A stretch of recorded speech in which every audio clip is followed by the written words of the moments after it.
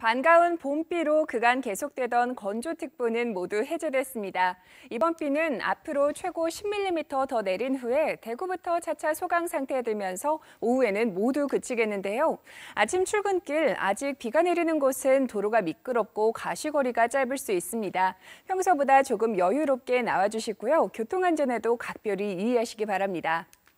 한편 이번 강수로 인해 미세먼지 농도는 보통에서 좋음 단계까지 나타내고 있습니다. 우리 지역 공기질 깨끗하겠는데요. 여기에 종일 날은 흐리지만 아침에는 대구 15도, 안동과 김천은 14도로 평소보다 높은 출근길 기온도 나타내고 있습니다. 또한 낮에는 대구 22도, 안동 21도, 김천도 22도로 어제와 비슷한 날씨가 느껴지겠습니다.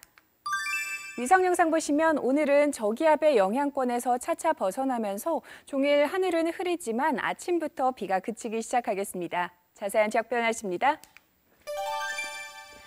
대구의 아침 기온 15도, 고령 14도 보이고 있습니다. 낮 기온은 대구 22도, 고령도 22도로 어제와 비슷하겠습니다.